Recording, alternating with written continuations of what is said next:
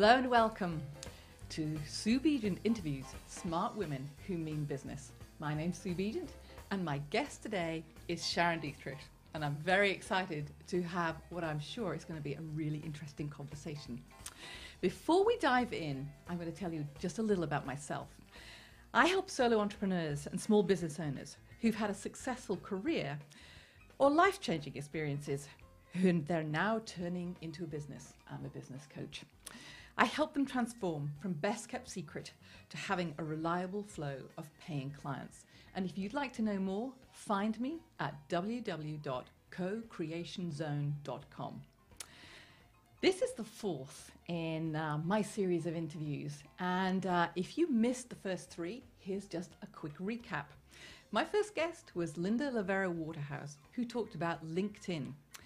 And if you're wondering whether LinkedIn really matters for your business, just Google yourself. And if, particularly if you're a business owner, make sure that profile counts.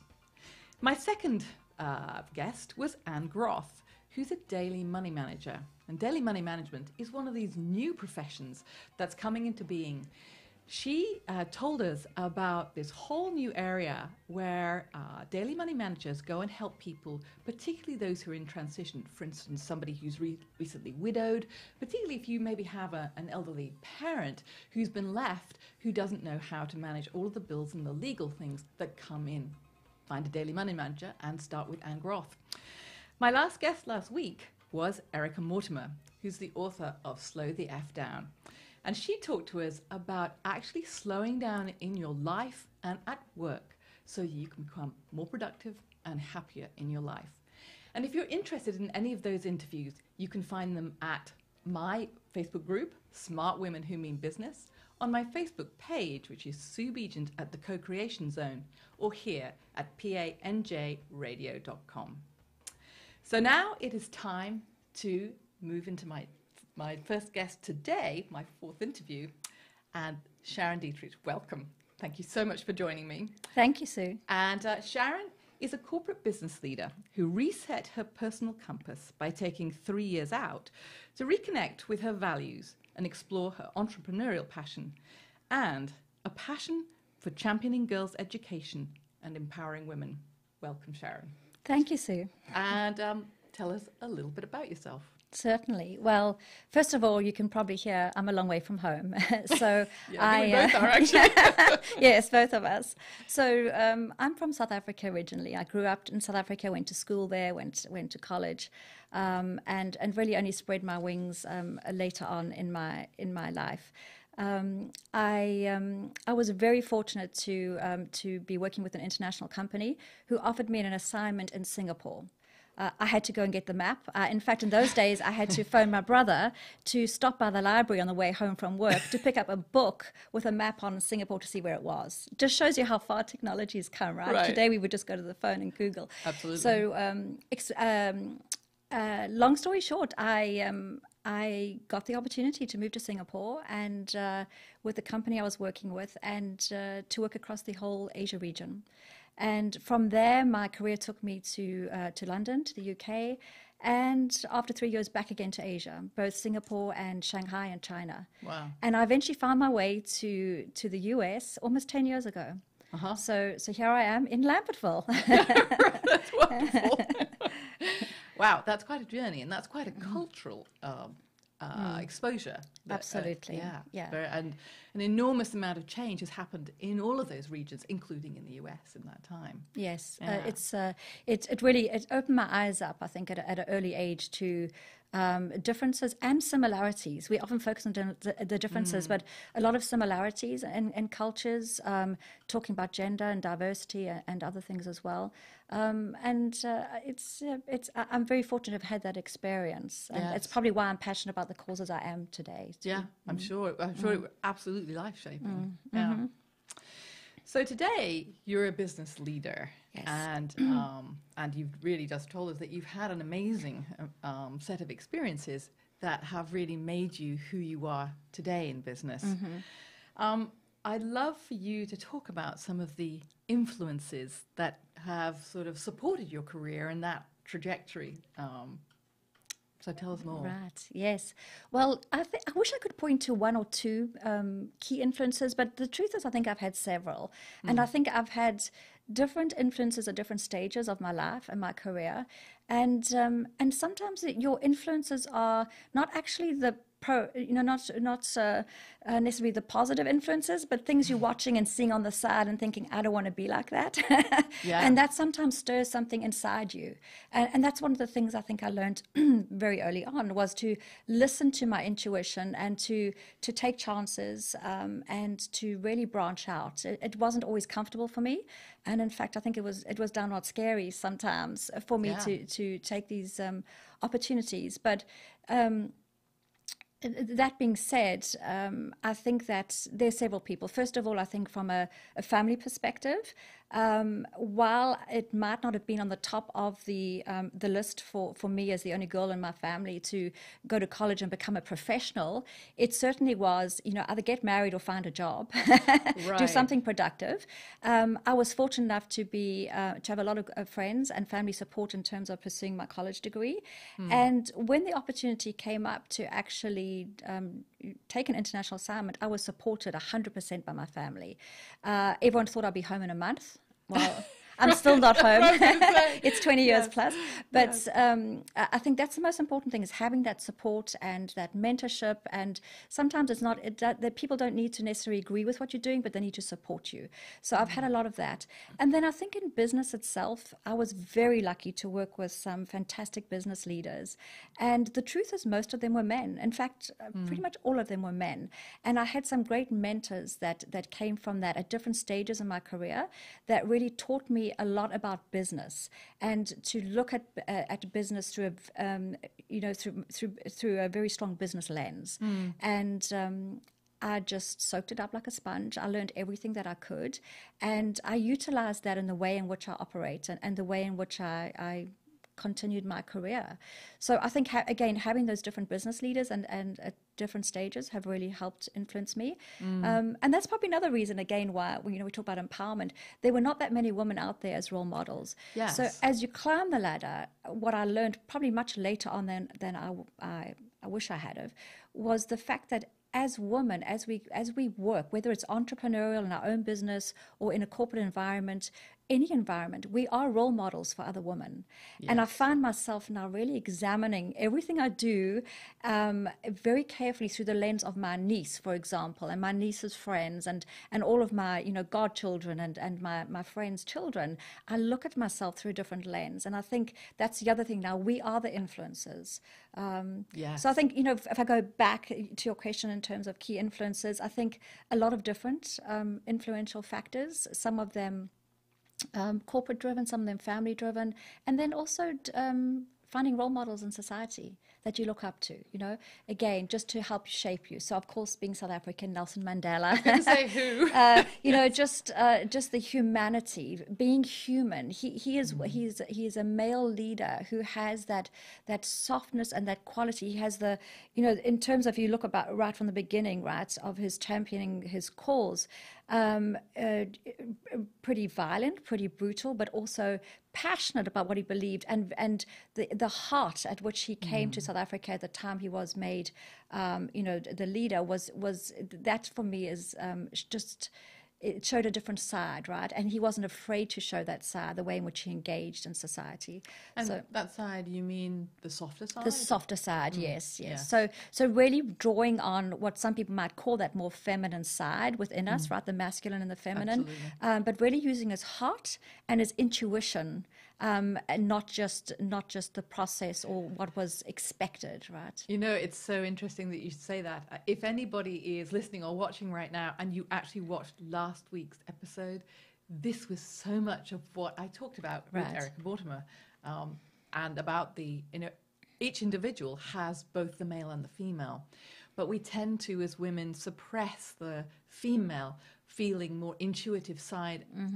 At work just because we don't have a lot of models that show us how that can be. Mm-hmm. So that's very yeah. encouraging, actually. Yeah. To, uh, and it was so encouraging to hear you say that part of your journey was using your intuition. Definitely, I- I think that's uh, it's something. It, it's so easily squashed, especially in a corporate environment, or when we become uh, we question ourselves too much. I think, and we become uncertain, men and women. But I think sometimes women more so, and that's when we suppress that intuition. And and I think that it doesn't serve us well. I think it's a strength and a capability that we have that we should utilize more. I, I couldn't agree with you more. I know that it, you know it's easy when the pressure is off to think about these things and, and sort of feel our way into them, but um, so often in a corporate environment, the pressure is on to meet a goal, meet a mm-hmm. deadline, and that's often when the, it's much harder to listen to mm-hmm. your intuition, particularly if you're in a large corporation and the sea of opinion seems to be heading in the opposite mm-hmm. way to the intu- intuition. So it's it's great to hear you talk about that. I, I love that. I love that. So, what do you think about being a woman as opposed to a man influence your life career progression? Um, you know, I think early on in my career, I would say that um, growing, uh, growing up, uh, you know, from a um, career perspective in a pretty conservative country, very male dominated at the time. Um, that I definitely was shaped by trying to find a position where I've, where uh, it was acceptable for a woman to be. So I would say, you know, looking back, I wish I had been bolder in terms of looking at different career opportunities. Uh, I, it was t- it, it, I, I went for the safe option Yes. um, looking back there. But I think that, um, so I think that being a woman probably influenced some of my decisions at an early stage. I don't, I don't regret anything. Um, I've had the most incredible opportunities, um, but I do think that, um, you know, d- working in a in a in a corporate environment as a woman. Um, at a younger age was much more challenging than it is now. Mm. And I wonder that's great to hear. sometimes if you grow into your comfort. I feel I've grown I've grown in confidence. Mm. I'm more comfortable with who I am. I'm more comfortable being who I am. Whereas when I was younger, I felt that I had to try and be someone else. And you touched on it earlier, right? And mm. and I think finding that balance, actually physically, just the way in which you present yourself at work, and you know, just actually just driving here earlier, I was just reflecting, and I was thinking of my my mum. You know, if she was here, she first, you know, I can still remember the first days going to work. You had to wear pantyhose. You couldn't wear trousers. You had to wear heels. You know, and I've got flats on, and I've got skinny trousers, and they come down to my ankle. And I don't have pantyhose on, and I feel fantastic. And you know what? It hasn't impacted my career or my brain in any way whatsoever. So I think those things definitely influenced me in that environment at a much younger age.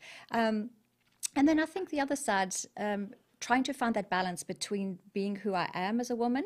Operating in a male dominated environment. I still operate in a male dominated environment. It is not uncommon for me to be around a table uh, with, with me being maybe one out of um, 12 people and um, the only female, Yes. or maybe two in a group of, of 10. So um, I think really being being true to yourself and understanding the value that you bring, and not trying to be like everyone else. Because when we try to be like everyone else, operating in an environment that is male dominated, we're then trying to be more male like. Yes. And um, and that's that's just not that for me was not comfortable. It's everyone is different. So I think just finding that balance and and I've seen from my perspective in, in careers, you know, um, a lot of my, my female colleagues struggle with that balance between either being too forceful and too strong outside their comfort zones. You should be who you are, but don't try and be someone else. Um, and the other thing I would say is that I also see a lot of women trying to be more the mother, you know. And I find myself going to the kitchen, making tea, and cleaning the counters, like who left the coffee cup out and putting it away, you know. And I laugh, and, and those things are fun. But but just um, you know, what what is your role um, as a female leader, and and how do you find that true sort of sense of self uh, in a male-dominated world? I, I'm sort of interested um, because I've very much recognized that that struggle, and I don't think when I was in my corporate career that I really found that balance. I was in my last role um, the only woman in you know the team that was working on a on a launch, and it was hard. Um, in some ways, I, f- I didn't feel as I didn't really think about being a woman, but then I would catch myself actually thinking about, gosh, I better pick up this detail and this detail because if they don't think the whole thing won't work, the things that weren't mine, Yes. um, and not allowing other people to to take the responsibility for what would happen if it didn't happen. Yeah. Because yeah, it's And I see, I see that a lot. I see that with Mm. some of my colleagues. Uh, I've seen that in myself, trying to pick up and fill up the gaps and make sure no one falls off. Yes. Um, and and I think that I don't necessarily find that reciprocated. Right? It's different Yes. if you're working in a team. It doesn't matter what gender you are. you'll support each other. But from my experience, typically as women, we tend to go above and beyond and try and make up for everyone. Yes. So that was a good uh, a- good learning experience for me on on my journey for sure. yeah, absolutely. yes, I, I I relate to so much of this. Uh, uh, can I say one other thing on that, Sue, too, uh, as a woman? I think the other thing that I learned, uh, right, is that, um, and I see this still in, in corporate careers, women wait to be tapped on the shoulder or to be asked to do something. Yes. And, Or for a raise. Or for a raise. Or Yes. how do I go about asking for a raise or never asking for a raise? And that's fine if that's how you feel. This is not a one size fits all. Yes. But I do feel that um, that men tend to network better. They are by virtue more in, many organizations. They're more men than women anyway. Yes. The networking is different and stronger, and has been stronger for a longer period of time. I think that that we are now learning to network much more effectively as women, as women leaders. I see it. It's fantastic to see. LinkedIn is an amazing tool because it allows you to find organizations that you can connect with and follow and and and become part of to build your networking environment. But in the in the corporate environment too, I feel that um, that um, you know men men tend to ask for what they want and women don't tend to ask as much. So looking back at myself and i look back to my early careers there's things i would ask for now you know feeling more comfortable and having learned that. Yeah. so i think whether you got your own business um, you got daughters uh, you know early in their careers that's something that i think we should all be conscious of is we shouldn't be afraid to ask um, for what we think is, is right I, I, it's so heartening for me to hear you say that. It's actually one of the things that I find with women business owners. We struggle to own our own value, to really stand in our value. You know, particularly early on when somebody's trying to nickel and dime you a little bit because they're because really they're trying to find out where your boundaries are. right And um, so it's so important to own that that value. So, what do you thought? Because things are changing for women. You you said uh, a little earlier that you didn't think things would be the same for you know the generation of women who are following. I'm I'm interested to pick up that point and hear what what you meant. You know when you said that. Yeah, I, I think I think things are changing a lot. Uh, I'm very um, heartened about the change. Having said that, I don't um, don't sit around feeling disheartened. Right, I'm very yes, much a future focused person. yeah, To me, it's about what can I do today and what can I do tomorrow. It's not about what Mm-hmm. what I, I could have done yesterday. Um, and it's the small things that count sometimes. But um, you know, I do think that if I if I uh, look at the younger generations coming through, I do feel that there's a much more sense of gender equality, and I think that it's it's our generation now that is influencing the next generation. Again, going back to that role modeling and, and being aware of the messages that we give um, the young, the- you know, the young children coming up, me, uh, boys and girls, right, both in terms of gender um, equality. Yes. So d- I think that uh, I think that things are changing. We see it. Um, I- can see it in the corporate environment. It might be slow, but it's changing. You can see it in the momentum behind some of the, the groups and women's networking groups. Uh, can see it just in on LinkedIn. You know, I follow a lot of various sites. And You can see the momentum growing. Um, you can see the influence women are having as consumers. And for me, that's powerful. And, and if I think about you, Sue, in your business, there are more and more women that want to work with women. Yes. And uh, and for me, I, I, one of my passions, many passions, is art and collecting. I now have a, uh, an urge to know more about female artists and to collect female artists. And Yeah. and I can't explain why. It's just a passion right? Yes. but it's almost supporting and and celebrating what we what we have as women. So I think there's more and more of it happening um, and especially on the consumer side and the entrepreneur side. I'm so encouraged to hear that because I don't really interact as much as you do with um, the generation of women coming behind us. We're going to take a short break right now because we're actually going to take a quick look at something else that Sharon is very passionate about. It's an organization called She's the First, and we'll be back in a moment.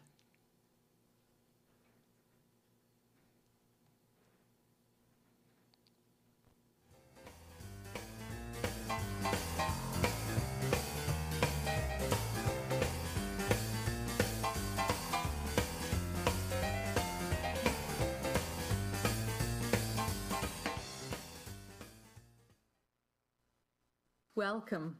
If you've just joined us, my name's Sue Begent and I'm your host today. All the guests on my show are members of my Facebook group, Smart Women Who Mean Business. And if that's you, please come and join us.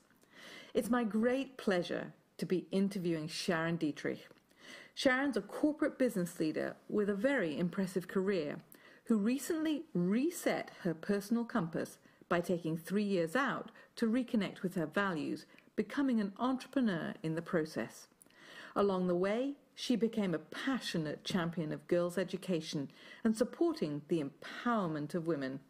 Today, she's sharing her personal journey and her commitment to a phenomenal organization called She's the First, who, through the education, mentorship, and leadership training of girls, fights global gender inequality. More details in the last part of our show. Please stay with us. Interested to learn more or consider a donation? Here's how you can make an impact on a girl's life. Follow the link, she's the first forward slash donate, or email Sharon at sharondietrich at hotmail.com. And if you're listening and not uh, watching, that's Sharon, D I E T R I C H, at hotmail.com. Here's to making a difference.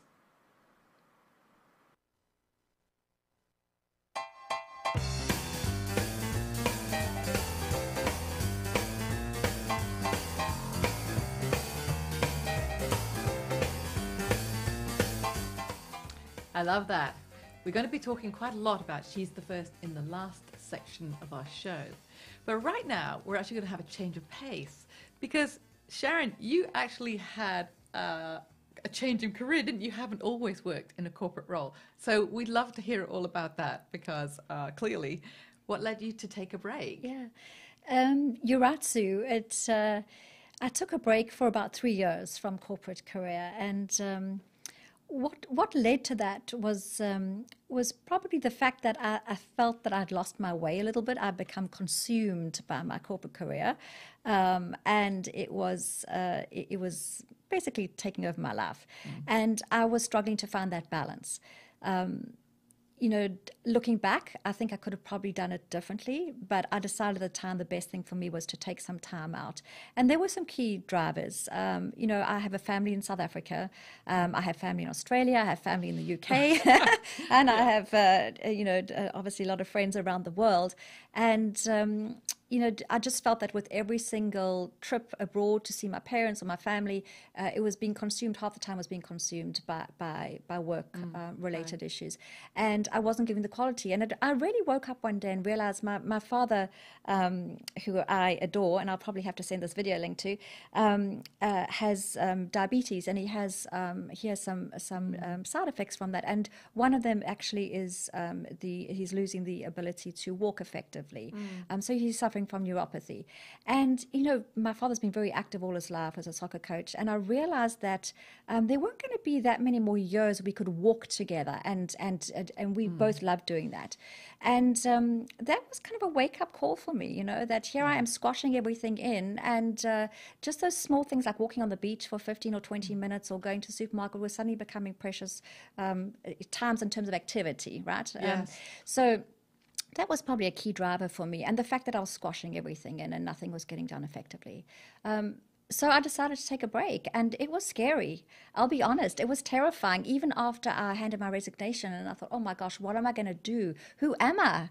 Because that, I had become yes. this person that Your identity was yes, it was all about work, and mm. uh, even within my family, they they knew me as this business person, and uh, my niece and nephews. You know, um, I could tell you some funny stories, but uh, so I really wanted to, t- to, take the time to to step back and reconnect, and mm. um, I did. I spent three years. And the first year, I really didn't do too much. Apart of the, uh, I worried. Uh, I got very healthy and very fit, which was fantastic. Yeah. Um, I reset my whole clock. You know, everything. Mm-hmm. My, my yeah. health, what was important to me. I was spending probably three to four weeks in South Africa every three months or so. Oh wow! And reconnecting with my my um, my family. Yeah. Uh, not that I hadn't been connected, but just in a different way. Yes. Um, and being being around them much more. So that to me was very very special. Um, and um, and that's actually what led me to to look for something, look for a purpose on what I wanted to do, and I wanted to try something outside of the corporate environment. And I love business, and I love the business of business, and. Um, I also said earlier, I love art and Yeah. um, I love crafts. And one of my most favorite things in the whole world in South Africa is seeing the beautiful beadwork and the craft work that, that the women uh, do, especially where I grew up in, in Natal. Um, and, um, and I decided that could be a starting point for me to start looking at my own business. And, um, and from there, I started looking into uh, working with some of the organizations. Big decisions to be made. Who do you work with? Um, how do you work? what types of organizations? Well, um, do I work with individuals? Do I work with uh, profit organizations? Do I work with non-profit organizations? So there's a lot of non-profit organizations in South Africa, and a lot of them supporting craft. So that was a learning co- curve for me to to see how they operated, and um, and I did want to work with the non-profits. And that experience actually made me realize, with my business hat on, um, and my my um, I think the, the the desire to see these women succeed is how can we help women like that to succeed better? The actual artists themselves. the artists themselves, the people creating these pieces, and there, there's there's definitely not a silver bullet to this, but but it did make me start thinking about all the things that impacted, um, uh, you know, the, the, the these women in terms of craftsmen, and we touched on it earlier, right? Just um, first of all, um, having an opportunity to display your your your wares and your goods, um, and also charging um, fair prices and earning a living, earning a decent living. And how do you do that without always operating through a non-profit environment, which tend to keep prices and need to keep prices at a rate that are going to attract buyers um, Yes. to their goods? And there's a and and I, and I appreciate that so much. But I was trying to think what next for some of these women. What could what could the future look like? Um, and and even as part of that, what would the future look like without the skill set being being transferred? Because a lot of the newer generation, the younger generations coming through, right, are looking for something different in terms of of career, are having the opportunity to get educated, or, or maybe not. Um, but I could also see those traditions dying out in terms of the traditional crafts, um, beading techniques, etc. Yes. So, yeah, something that I became very passionate about and looked at in terms of how could I make this into a business. So tell us, you know, because I think you you took it from there and you did um, start to make it a business. So talk talk to us about Yes. you know, um, well, I, I, making I, happen. I definitely started. I, I, I, it's um, to be continued. and, and having learned so much from you, I know now what I would do differently. Um, and also, it, it, it, this for me was a time I really wanted to. Um, uh, I wanted to go back into corporate for, for a very specific reason, Mm. and uh, and this is literally on hold. This is this is something I will go back to and I will do, uh, and that's uh, you know everyone knows that. Um, I think that um, how I made this happen was actually spending time with a lot of these nonprofits, Mm. meeting some of the the women that that run them, and then getting to know some of the crafters themselves, Right. and to see the work that they that they did, and then taking taking that and thinking about how would you how would I make this a business? And f- there were small small details um, that have become very important. For example, colors. What are the Mm. trends? Um, we were living in an environment now where everything is instant, right? You can go on uh, literally Instagram, right? On on Yeah. um, on Google, you can see what the current trends are. You can watch live fashion shows. How could you tap into these current trends and this beautiful craft work and get the two to combine? the middle, yes, yes. And so that that's really that's really what I was trying to do. So I um, I was fortunate to meet the most wonderful woman, um, and quite a few of them who really helped me, um, taught me um, a lot about how the, the beads are made, the pieces are made, and allowed me to actually interfere and to redesign pieces, design my own pieces, um, and and to look at my own color schemes. Oh, so wonderful. Everything So you from got to express your creative Yes. side as well as your business side. Correct, Yeah, correct, yes. yeah. And that was the whole point is trying to make the two meet um, with my business hat on and my, and my passion and understanding the role of the of the um, the non-profit organization. And it's interesting because um, I know we're going to talk about this a little bit more, but I, uh, when we talked about this, you talked about actually empowering the women so that they were no longer reliant on the nonprofit, but in fact were able to stand in their own power Mm-hmm. as artists and as businesswomen themselves. Yes, yes, absolutely. Um, I think that it's it's for me. It's important if we look to the future that we're not always relying on someone else for something, right? I think for me, relying, um, you know, I think education underpins it all, but how do we make or how do we help women become independent? And it, there's there's a lot of factors involved but for me a, a key part of that was first of all um, having the ability to be able to show what you make in the right places and also then charging the right prices. And i felt that the the the the, the, char- the prices that were linked to some of these products weren't always um, reflective of the work that went in. So I actually spoke with a couple of the beaders to see how long does it take to make this necklace. Tell me how you go about it. How many hours A or necklace days? like the one you're wearing. necklace like the one I'm wearing. Yeah, my favorite. So, um, and there's some pieces that take days to make. And when Mm. you look at the price and you work that out to an hourly, even in the local economy, it really wasn't very much at all. And and Probably my tiny. my concern was that as long as there's someone to sell it to and to get a rate, um, even if it's not sold on, that that value would never change, right? And that appreciation and that self worth for the work being done would never change. A lot of the women that are making these pieces are actually older women.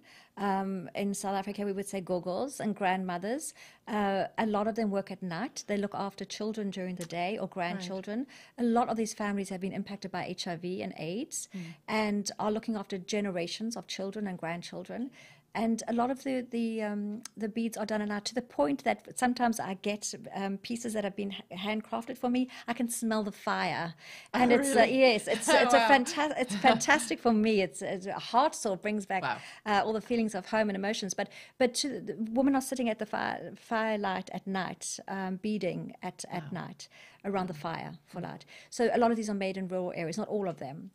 But um, and that's really got me thinking about how do we start to empower these women and how do we start to impact the next generations to either do what they love doing and put it and, and make sure that they get the, the value from it um, because I think it's important to to to continue those traditions. Yes. and then how do we just empower women generally right? How do we help these women get out um, of, of some of these situations and, and give them a platform to shine And if you are a woman in that situation and you have never been exposed to thinking any other way, there doesn't seem like another way. And I'm sure um, I can't imagine how amazing it must have been for them to be to have you, you know the two of you to or to all of you to interact and to hear this whole new idea of wow there could be a different way.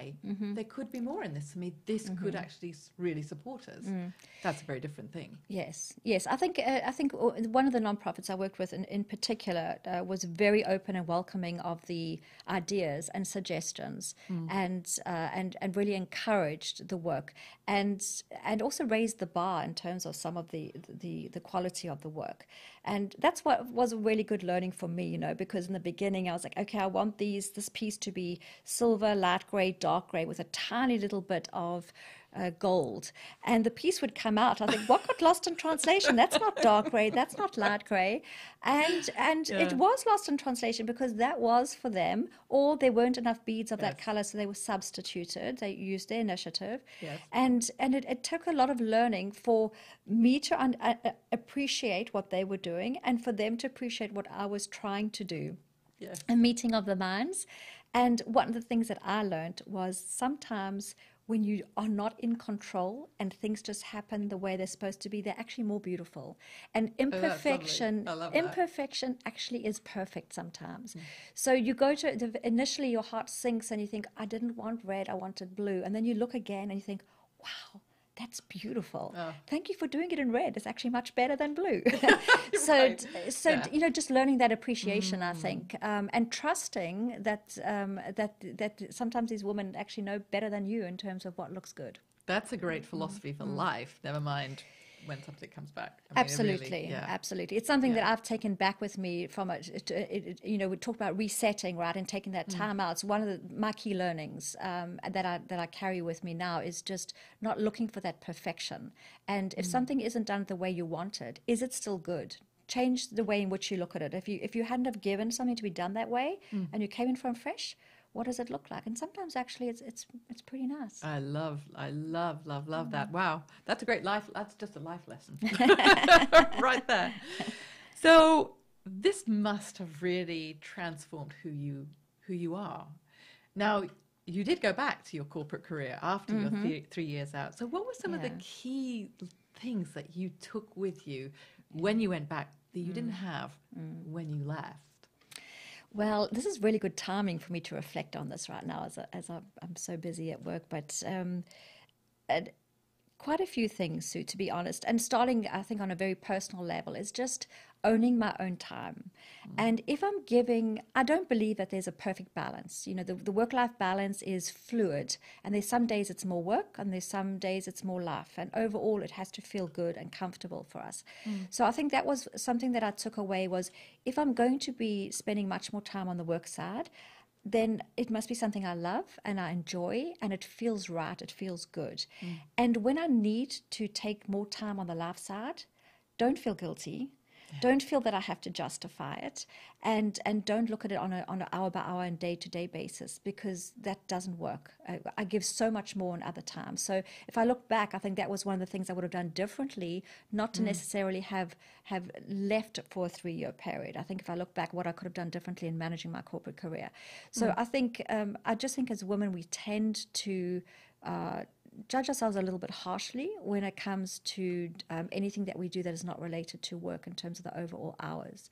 So that's one of the things I've taken away. The other thing is just what I touched on earlier is not looking for perfection. Yeah. And it's not about the way that uh, that sometimes I want things to be done, but it's about is does it look good and have other people had enough input. So really appreciating what diversity and what teams bring to something, and even if I have a vision, sometimes be flexible. Let that shift and and look for mm. what others can bring that could be better than what you even started in the beginning. So some mm. some key takeaways for me, I think. And the other thing I would say is not to lose sense of who you are. At the mm. end of every day, to check in and feel comfortable about who you are and what you've done for that day and what you're going to do. And you get up in the morning and you take a breath, right? I was going Um, say, how and- do you do that? Tell us how you do that. well, you know, it, it's not always easy, and there's Yeah. some days it, it just doesn't work. To be honest with you, Yeah. And that's another Yeah. thing, right? You're not looking for perfection, but it's like a continuous journey of of self discovery and and how do we work in today's environment? You've got the phone it's twenty four seven. I have two phones: a personal phone, a work phone. Yeah. You've got everything else. Um, I think it is a journey, but a couple of things that I've been practicing recently. Um, I'm trying to get up a little bit earlier, and I'm trying to take even if it's 15 minutes to do a walk. The weather's nice, so it's great. When it's not indoors on the treadmill, does just to clear your mind. Um, I read a great article a few weeks ago on on gratitude, and waking up in the morning and just choosing three things I'm grateful for. And what I found recently is I'm gone. I'm on item four, five, six. Okay, that's enough now. I need to get out of bed. So just starting with some simple practices. Um, but I think most of all, at the end of a day, whether that day is seven o'clock, eight o'clock, or ten o'clock in the evening, just reflecting on how you've spent your time and would you do anything different, learning for the next day. And when you go to bed, just know that you feel good with what you've done. So if I haven't emailed my brother back or he sent out my niece's WhatsApp to me, um, why you know why didn't I get to it? And uh, and when am I going to get to it? So never forgetting it. that You got a full life, and you need to juggle all these the balls. right? people are important. people are critical and, and i can tell you that even living here in this, this beautiful uh, city um, of lambertville right just getting to know people has, has been a big part of that three-year uh, journey too so taking the time off wasn't just about family wasn't just about this entrepreneurial um, adventure I really made friends. And today I look around Lambertville, you're one of them. The friends that I have, I would not have if I hadn't have taken that time to step aside and reevaluate what I want in my life. Yes. And I want friends. I want dear friends. I've moved a lot, so it's hard to keep touch uh, with friends. And I made a conscious effort that I was going to build a community, and um, and that was important to me. And that's one of the things I check in on. And I know that any of my friends are listening. They're probably thinking I haven't replied to the emails, but I will. I will get there. But Uh, but now you know that she's thinking of you and she cares.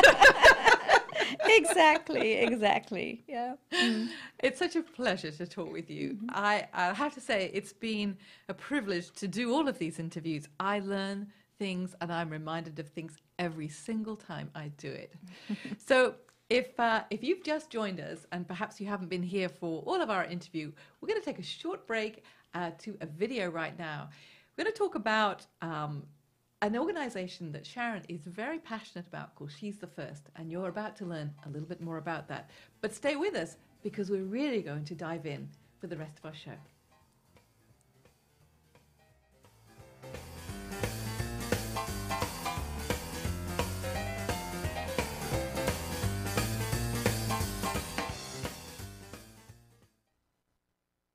Welcome.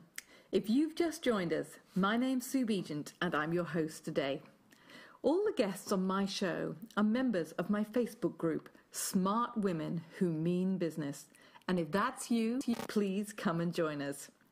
It's my great pleasure to be interviewing Sharon Dietrich. Sharon's a corporate business leader with a very impressive career who recently reset her personal compass by taking three years out to reconnect with her values, becoming an entrepreneur in the process. Along the way, she became a passionate champion of girls' education and supporting the empowerment of women. Today, she's sharing her personal journey and her commitment to a phenomenal organization called She's the First, who, through the education, mentorship, and leadership training of girls, fights global gender inequality. More details in the last part of our show. Please stay with us. Interested to learn more or consider a donation? Here's how you can make an impact on a girl's life. Follow the link, she's the first forward slash donate, or email Sharon at sharondietrich at hotmail.com. And if you're listening and not uh, watching, that's Sharon, D I E T R I C H, at hotmail.com. Here's to making a difference.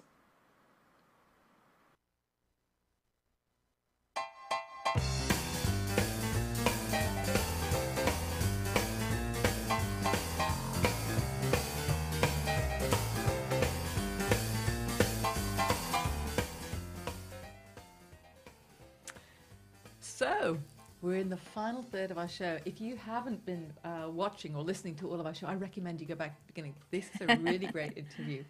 But we're going to dive in now to an organization that you um, learned about and then really became involved in. And that organization is called She's the First.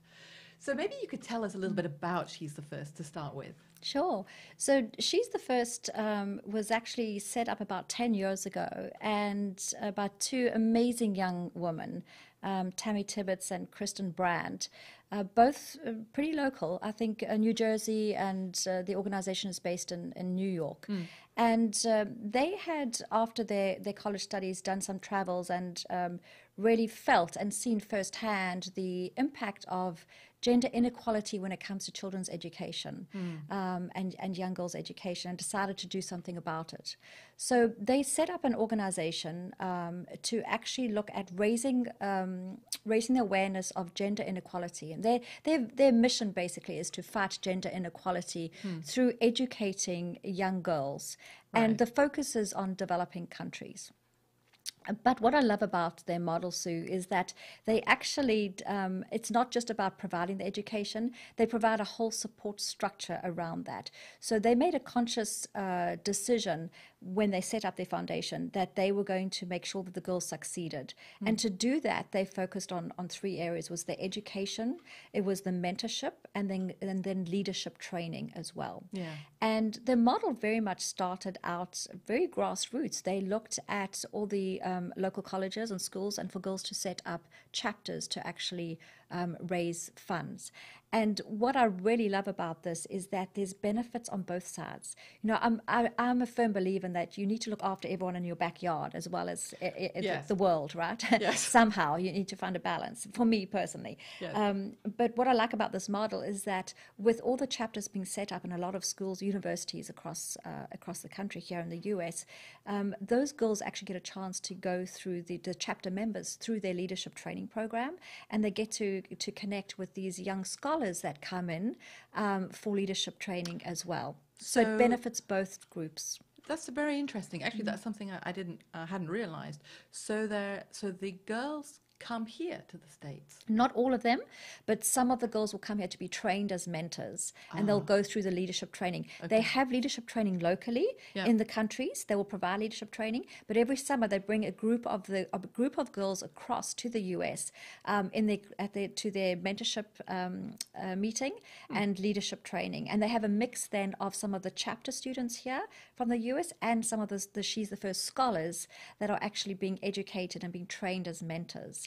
So it's a great it's a great opportunity for the two to meet. Yes. Uh, and also it's a great opportunity in terms of um, just global leadership training, right? For for these young girls to see um, a different part of the world. Absolutely, and to be exposed to different ways of thinking, which is what we were talking about. Yeah, completely. absolutely, that's wonderful.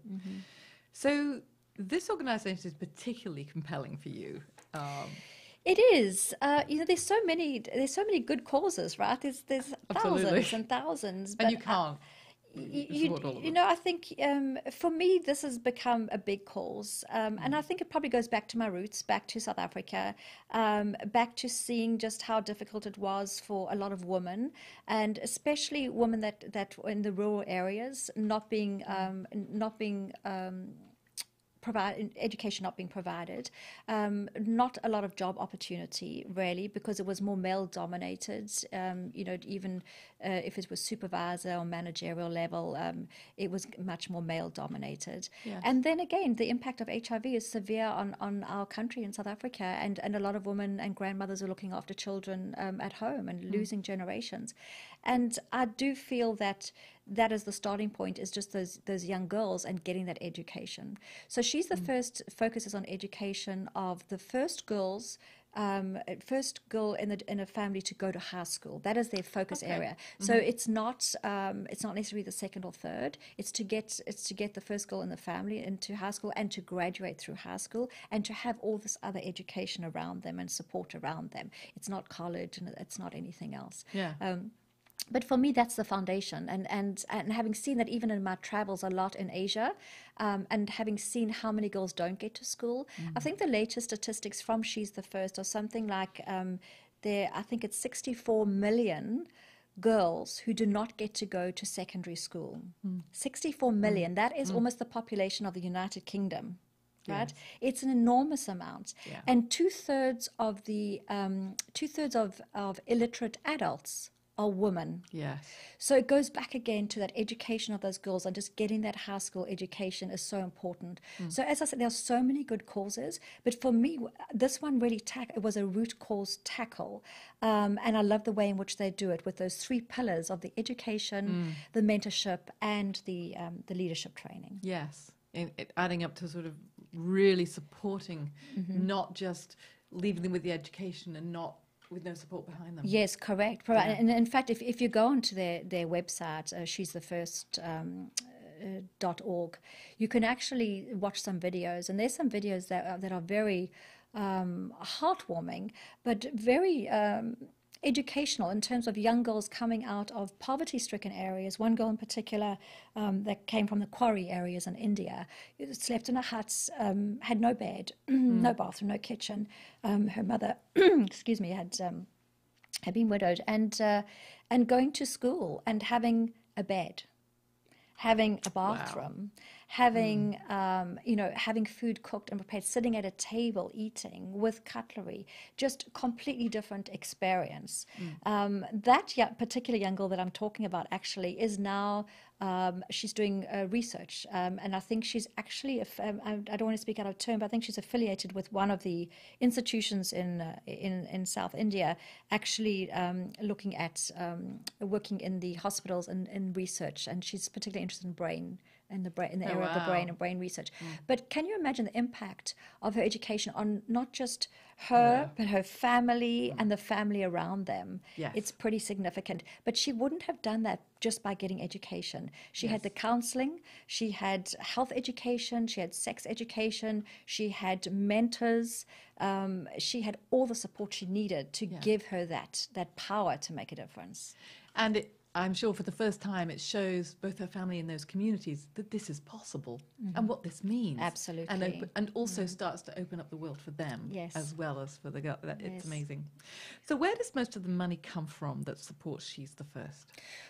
She's the first um, uh, uh, look for donations in various forms. First, I'd say that they have an operations fundraising arm which covers their operating costs, and then they have the education, which purely goes to the education of these young uh, young girls, and that's what the group that I'm involved in actually supports the education of the young girls. So Okay. that they're separated.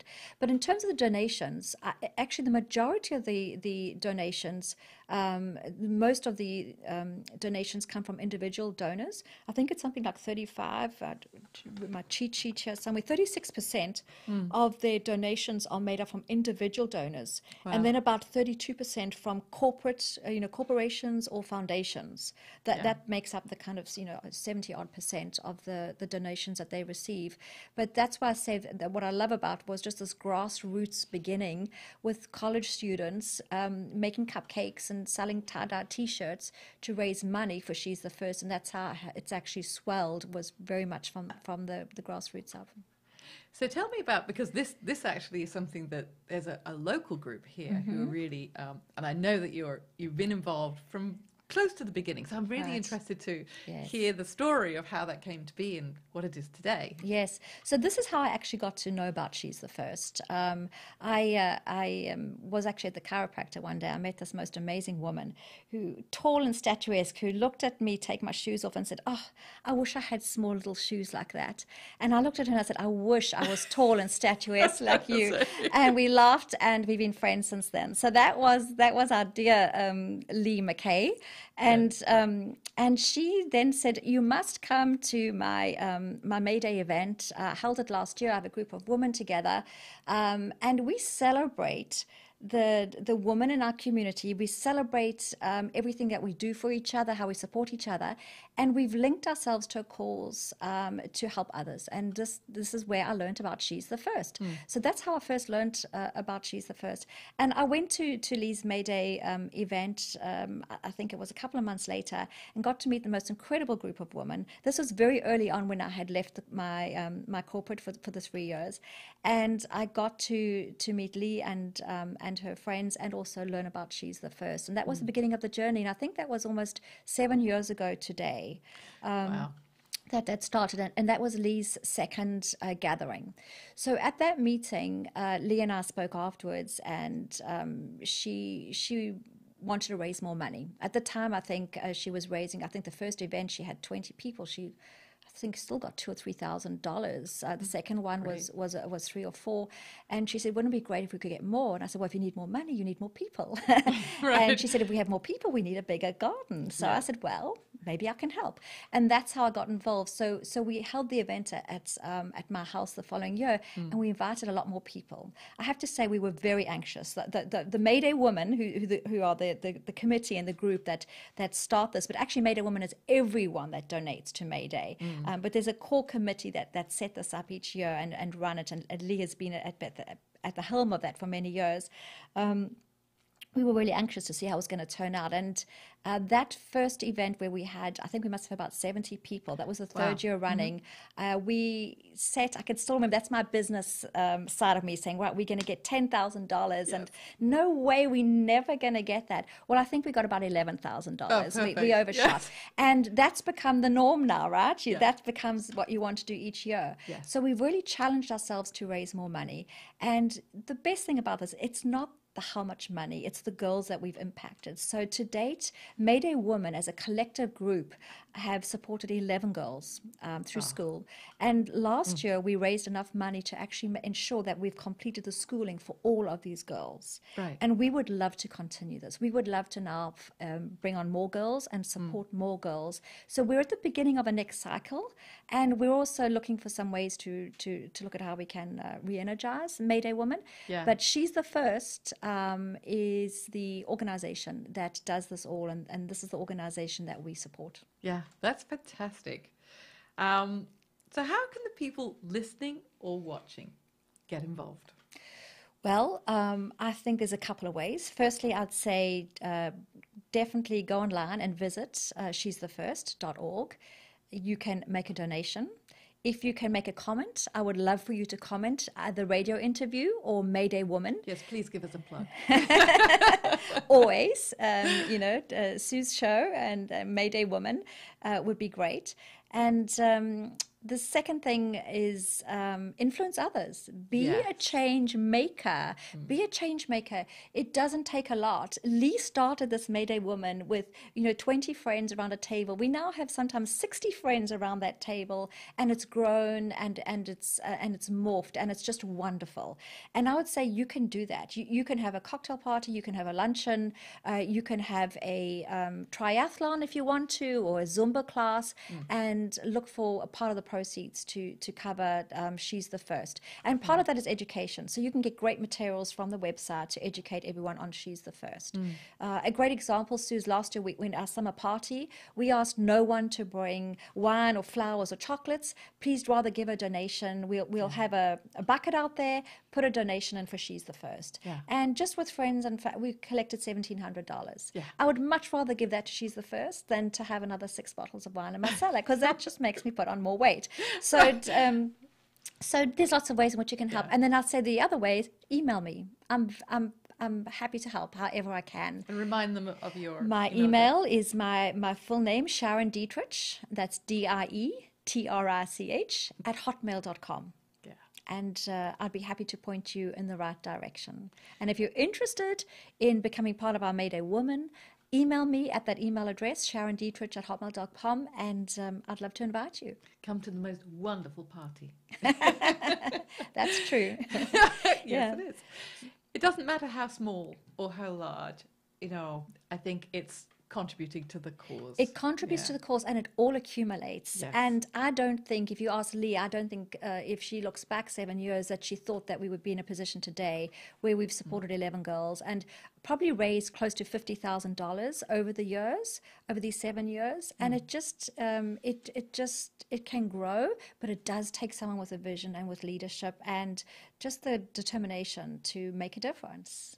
So So you have a Challenge. wonderful resource here. You know how to contact her. Sharon Dietrich, thank you so very much. It's been a total pleasure to talk to you today. Thank you for sharing all of your experience and thank you for introducing us to this amazing organization. So, thank you, Sue. Thank you very much for having me. It's, It's it was a pleasure. privilege to be on your show. Thank you very much. pleasure.